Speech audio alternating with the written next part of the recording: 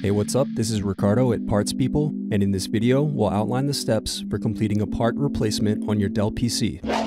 Visit our website and use this coupon for a 5% off discount.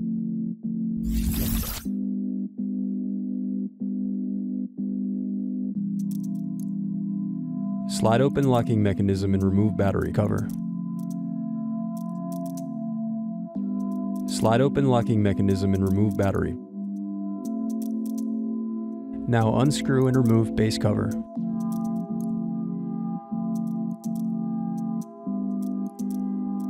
Then separate clips and remove memory.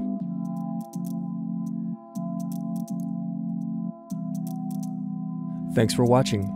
Don't forget to like and subscribe if you enjoyed this video. And if you need more, check out this playlist to watch other tutorials for your laptop. You can also click here to find parts for your laptop at partspeople.com.